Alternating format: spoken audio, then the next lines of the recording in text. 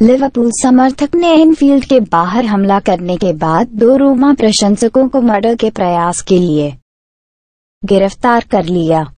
Red समर्थक तिरपा को kick of से पहले एल्बर्ट पब के पास हमला करने के बाद जीवन के लिए लड़ना छोड़ दिया गया था। लिवरपूल प्रशंसक को गंभीर स्थिति में छोड़ने के बाद दो रोमा प्रशंसकों को हत्या के संदेह पर संदेह में गिरफ़्तार किया गया था। रेड समर्थक तिरपा मंगलवार की रात को चैंपियंस लीग सेमीफाइनल से ठीक पहले एल्बर्ट पब के पास हमला करने के बाद जीवन के लिए लड़ रहे थे। रोमर प्रशंसकों के रूप में किक ऑफ़ से पहले एक घंटे पहले परेशानी हुई, जो हथौड़ों, बैटन और बैटों की रक्षा करते हुए घर की भीड़ पर हमला करते थे। आयरलैंड से माना जाने वाला पीड़ित बेहोश हो जाने के बाद वाल्टर न्यूरोलॉजिकल सेंटर में गंभीर सिर की चोटों के लिए इलाज किया जा रहा है। मर्ससाइड पुलिस ने 25 और 26 वर्ष की उम्र के दो रोमा प्रशंसकों को गिरफ़्तार कर लिया है। पुलिस ने अपराध हमले, आक्रामक हथियारों के कब्जे, दवाओं के कब्जे, आपराधिक क्षति और नशे में और अपमानजनक सहित अपराधों के लिए कुल नौ गिरफ्तारी की। मुख्य अधीक्षक देवचर चरनौक ने कहा, एक तिरपन वर्षीय व्यक्ति, जिसे लिवरपूल प्रशंसक माना जाता था। रोमा और लिवरपूल प्रशंसकों के बीच एक विचलन के दौरान ज़मीन के नज़दीक हमला किया गया था। वर्तमान में वाल्टर न्यूरोलॉजिकल सेंटर में उनकी चोटों के लिए उनका इलाज किया जा रहा है, जहाँ उनकी हालत को गंभीर बताया गया है। रोम से 25 और 26 साल की आयु के दो पुरुष को हत्या के संदेह पर गिरफ़्तार कर लिया गया है और उन्हें एक पुलिस स्टेशन ले जाया गया है, जहाँ उनका जासूसों द्वारा साक्षात्कार किया जाएगा। उन्होंने आगे कहा, जासूस खेल से पहले आकल्स लेन पर एनफील्ड स्टेडियम के बाहर फ्लेरेस के उपयोग की भी जाँच कर रहे हैं। हम सीसीटीवी फुटेज की समीक्षा करेंगे।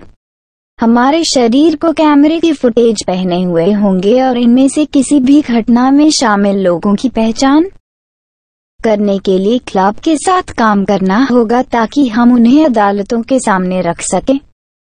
और मैं उन लोगों से अपील करता हूँ जिनके पास हमसे संपर्क करने के लिए इनमें से किसी भी घटना के संबंध में कोई जानकारी है या मोबाइल फ़ोन फुटेज है।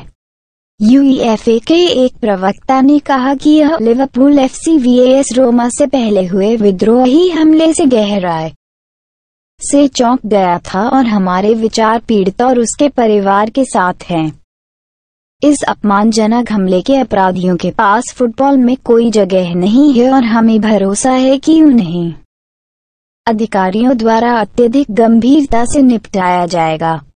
दृश्य हमले के बाद सड़क पर नीचे हुड्रोमा समर्थकों के गुच्छा का पीछा करते हुए घर प्रशंसकों को।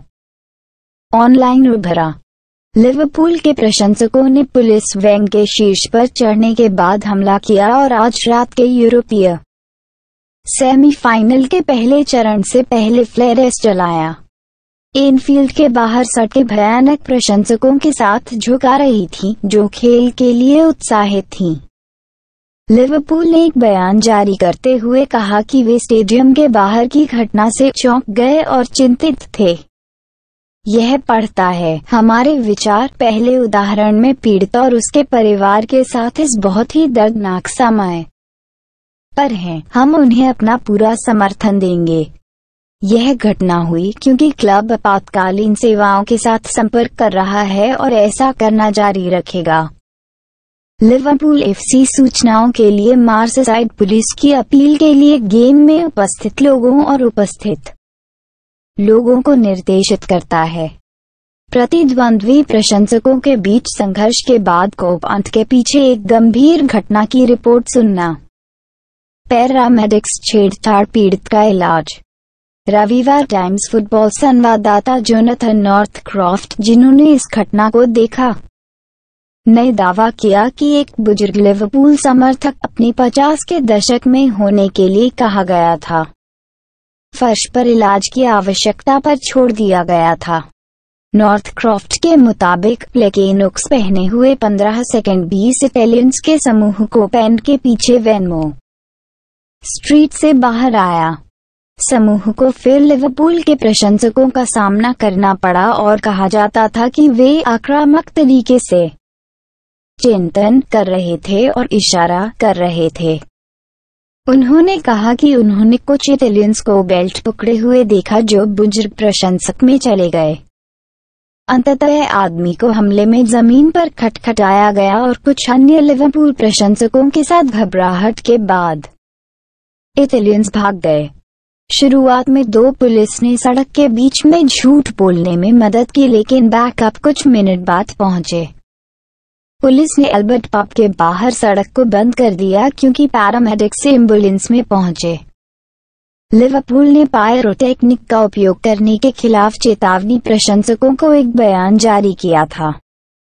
लेकिन ऐसा लगता है कि बहरे कानों पर गिर गया है। आज रात के मैच में मैनचेस्टर सिटी के खिलाफ रेड्स क्वार्टर फाइनल मुकाबले से पहले चौंक आने वाले दृश्यों की प्रतिक्रिया में साइड पर भारी सुरक्षा उपस्थिति देखी गई। लिवरपूल के प्रशंसकों ने बोतल और अन्य वस्तुओं को फेंक दिया, जिसमें शहर की टीम बस में फ्लेरेस शामिल थे, जो सामने की खिड़की को तोड़ रही थी। एनफील्ड बॉस जुर्गन क्लॉप ने प्रशंसकों से आग्रह करने से पहले आग्रह किया। यह एक उत्कृष्ट क्लब है जो अपने शानदार माहौल के लिए जाना जाता है। हमें चीज़ों को फेंकने की ज़रूरत नहीं है।